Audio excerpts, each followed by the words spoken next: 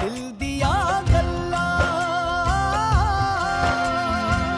तो ऐसे मनाएँगे क्या खुशी? नाच नाच के? किस लिए? लोगों को दिखाने के लिए? उनको जलाने के लिए?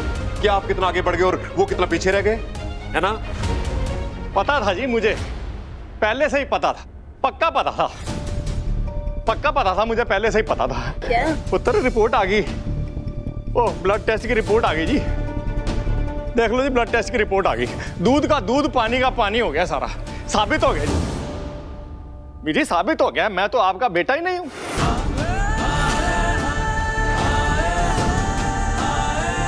देख लो जी ब्लड ग्रुप मैच ही नहीं करता। आ गया रिपोर्ट में। मैं भी कहूँ, मैं भी कहूँ कि मैं, मेरे साथ इस घर के अंदर सोतेलो जैसा व्यवहार क्यों होता है? राज खुल गया सारा। पर जय जी सारा राज खुल गया। आप माँ ही नहीं हो मेरी। मैं इस घर का बेटा ही नहीं हूँ। तभी तो बीजी आपको मेरे जन्म की कहानी तक नहीं पता है। मैं मैं तभी पूछता था कि कोई तो होगा, कोई ये क्या बकवास कर रहे तू? सही कह रहा हूँ भाई साहब, पर मैंने बकवास खुद नहीं कर रहा हूँ। ये देखो, आपके जैसे किसी डॉक्टर ने बनाई है रिपोर्ट। रिपोर्ट के अंदर सारा आ गया है सच। आप तो पढ़े लिखे हो ना, देखो, पढ़ के देखो। आपको तो समझ आ जाएगी सारी। तेरी जी ए प्लस है अब मेरी बी प्लस है। अब मैं पता है मेरा एल प्लस है। अपने लिए ए प्लस और बी प्लस और मेरे लिए एल प्लस ओए पागल है तू। ये आना चाहिए था रिपोर्ट के अंदर। एल पॉजिटिव कोई ब्लड ग्रुप नहीं होता। ओ पॉजिटिव है तू। हेलो ओ ओ और पीछे से खेल लो मेरे को। एल एल एल ओ और पीछे चला लिया मेरे को। पीछे से खेलते रहो ज़िंदगी भर को। राणा भाई साहब एक मिनट। अगर एक पेरेंट का ब्लड ग्रुप ए हो और दूसरे का बी हो तो बच्चे का वो हो सकता है। इसका ये मतलब नहीं है कि आप इनके बेटे नहीं हैं। ओ पर जय जी आपको ना हाथ जोड़ के गुजारिश करता हूँ। आप मेरा दिल रखने के लिए ना कुछ मत बोलो। इस रिपोर्ट से ना सब साफ़ हो गया। मेरे सारे सवालों का जवाब मिल गया। साबित हो गया। मैं बेटा नहीं हूँ जी इनका। स्वाद साबित होता है कुछ। गधा है तू। बचपन में जब स्कूल में जाते थे तो बोलता था कि पढ़ ले, थोड़ा पढ़ ले। पढ़ा होता कुछ ये ऐसी ऐसी रिपोर्टें लेके नहीं घूम रहा होता। निजी जी मैं आपका बेटा नहीं हूँ ना जी। इसलिए आप मारते थे ना मेरे को इतना। पर इतना बता दो, अब आपको क्या बोलूँ? आंटी! ओए, राणे! ओए डैडी जी! आपको पता आप मेरे डैडी नहीं हो। पता चल गया मुझे। ओए, बकवास बंद करो। चुप कर। कोई बकवास नहीं कर रहा हूँ जी। रिपोर्ट आ गई है ब्लड टेस्ट की। आंटी जी से पूछ के बता दो साबित तो हो गया इसमें। बकवास कर। एक बार मुँह से निकाल दो आपकी मैं बेटा नहीं चुप कर चुप। बीजी बताती नहीं बताती नहीं। क्या नाप शना बोल रहा तू मेरी घरवाली से? क्या पूछना तुझे? जो पूछना मुझसे पूछ। क्यों तेरे पैदा होने की कहानी नहीं बताती वो? ये पूछना है। मैं बताता हूँ तेरे को। मरने वाली थी वो। तेरे पैदा होते ही डॉक्टर ने साफ़ साफ़ कह दिया था, जच्चा या फिर बच्चा? और इसने अपनी जान की परवाह नहीं की। तेरे को चुना वाहे गुरु की मेर हो गई, बच गई है। नहीं तो इसको मार के बाहर निकलता तू। क्या बताती इसमें तुझे वो? क्या क्या बोलती वो? बोले जा रहा है बोले जा रहा है बोले जा रहा है बोले जा रहा है।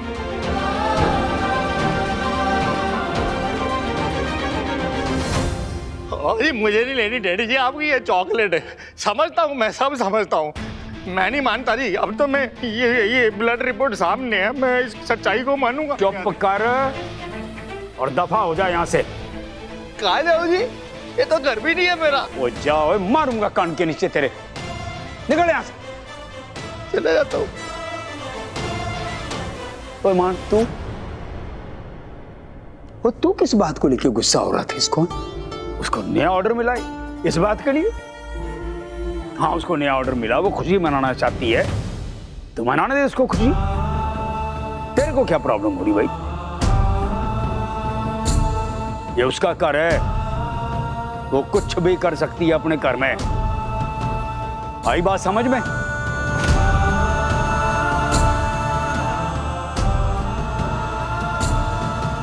ओए तुम सारे यहाँ पे क्या कर रहे हो भाई? तुम काम काज नहीं है किसी के पास क्या कोई? जाओ। जाओ अपने अपने कमरों में जाओ। जाओ।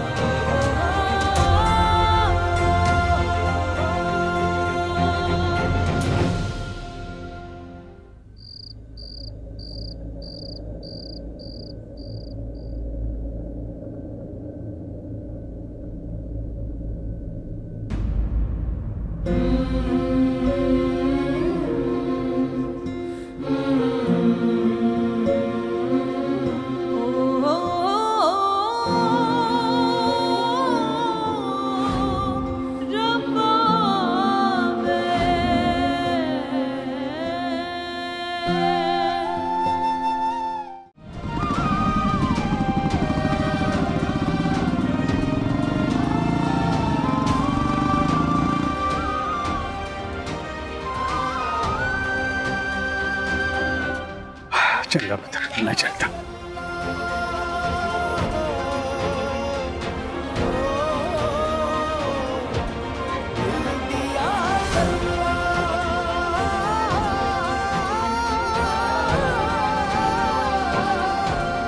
आप दी सौ डैडी जी।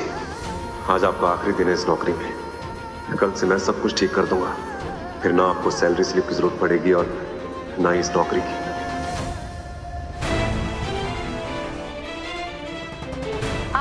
बीजी को कहा कि पचास हज़ार रुपए टैक्स में कट गए हैं और अभी पचास हज़ार रुपए आपने किसी को ट्रांसफ़र किए हैं।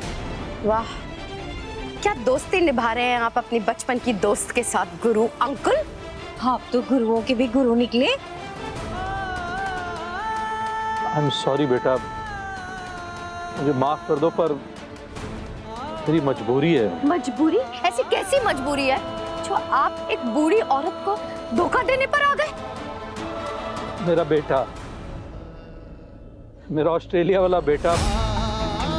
उसको पैसों की बहुत ज़रूरत थी तो उसने कर्जा उठा लिया बहुत बड़ा। इतना ब्याज चढ़ गया कि उसकी हालत बिल्कुल ही टाइट हो गई, वो दे ही नहीं पा रहा है। और मेरा भी दो चार सालों से बिज़नेस बिल्कुल ही डाउन है। मैं भी मदद कर नहीं पा रहा हूँ, सोचा इस तरीके से उसकी मदद कर पाऊँगा।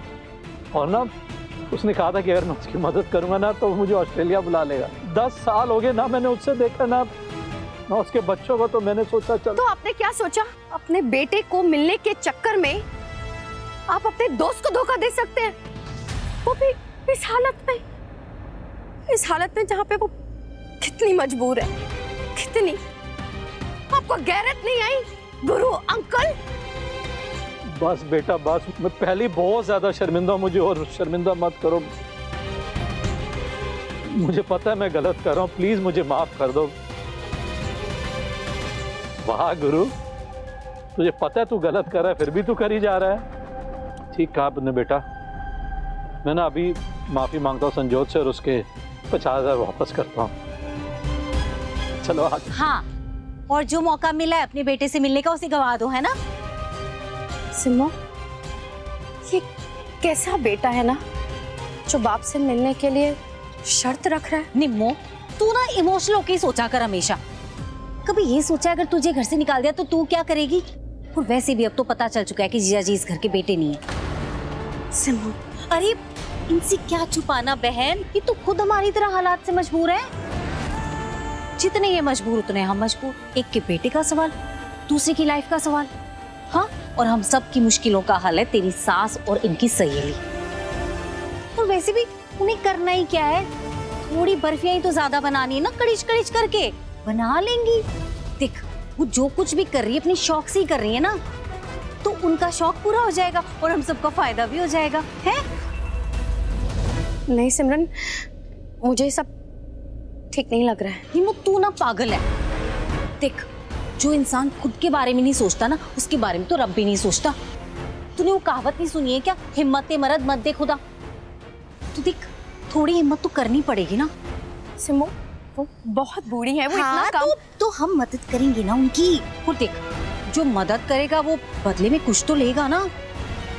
तुम लोग जो भी लोगे अपने हक का ही लोगे। हाँ बस उनको पता नहीं चलेगा। इतना ही है। सोच लो।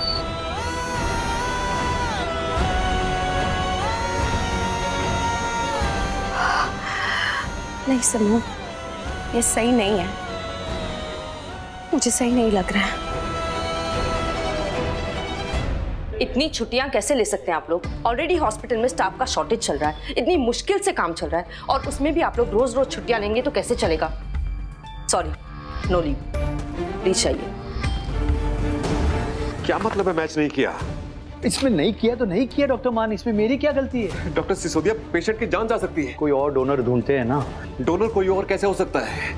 जब पैसे मुझे चाहिए तो किडनी भी मेरी होनी चाहिए ना। मुझे किसी भी हालत में अपने माँ बाप को इस मुसीबत से निकालना है। आप एक काम कीजिए दोबारा से टेस्ट कीजिए। कम ऑन डॉक्टर मान ये क्या बचपना है? Behave like a doctor please doctor Sisodia जिस बच्चे का बाप इस उम्र में इतनी भाग दौड़ कर रहा हो सुबह से लेकर शाम तक धूप में खड़ा रह के लोगों को सल्यूट मार मार के चार पैसे कमाने की कोशिश कर रहा हो और जिसकी माँ अपनी सेहत की परवाह ना करके 24 घंटे में से 20 घंटे एक पाँव पे खड़ी होकर इतनी कड़ी मेहनत कर रही हो वो वो बचपन नहीं करे तो कैसे बिहेव करे? आप बताइए मुझे। डॉक्टर सिसोदिया, मेरे पास वक्त बहुत कम है। हमें किसी भी हालत में हमारी हवेली को बचाना है, वरना मेरे माँ बाप सड़क पे आ जाएँगे। या हमें हमें भीख मांगनी पड़ सकती है। रब की कृपा से हमें एक मौका मिला है। हम हम सब कुछ एक झटके में ठीक कर सकते हैं। इसलिए मैं आपसे एक रिक्वेस्ट कर रहा हूँ कि एक बार दोबारा से टेस्ट कीजिए ना प्लीज़ एक बार या दस बार भी टेस्ट करेंगे तो रिपोर्ट वही आएगी डॉक्टर मान। पर ठीक है आपकी तसल्ली के लिए और एक बार सही